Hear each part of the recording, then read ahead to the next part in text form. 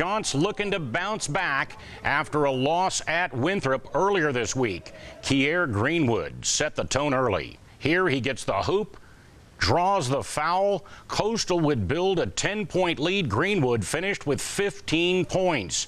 Coastal's big man established a presence. Badou Diagne gets it inside and flushes it down, but Radford stuck around to make it interesting. Watch Anthony Raffa.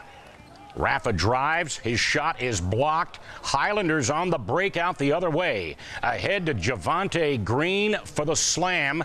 But Raffa would get some revenge. The Jersey boy from long range knocks down a three ball. Coastal takes a six point lead at the half. Raffa would finish this game with 22 points. But Radford continued to battle. Second half now. Javonte Green gets Radford within two of the lead near the six minute mark. Green finished with a dozen points. But Warren Gillis answers right back with a clutch three pointer gives Coastal a five point advantage. Then a big boost from freshman Tristan Curtis, who follows with a slam. But the big story was Raffa and his 22 points. Coastal pulls away to win by 10, 62 to 52 the final. That's seven straight home wins for the Chanticleers. For more on the game, here's News Channel 15 Sports Director Rich Chrampanis.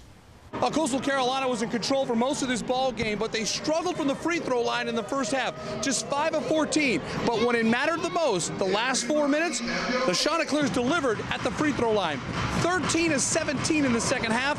That's why Coastal Carolina won this game by 10 points. We kept them in the game in the first half at the free throw line. We missed. We really played well. We just weren't hitting foul shots. That's the bottom line. I, both teams played well. I tell you, we were headed for some kind of Big South tournament because that was a good team. We had to make foul shots down the stretch, which we did. So we wanted to focus on defense. When you play defense, everything comes to you. You get we could run out and breaks and things like that, get open shots.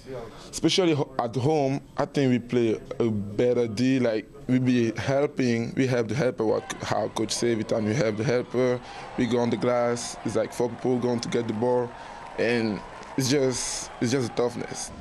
Coastal Carolina starting center El Hadji again not in the lineup due to recurring headaches. An update on his situation on the Cliff Ellis Show Sunday at noon right here on WPDE. At the HTC Center, I'm Rich Chrampanis, News Channel 15 Sports.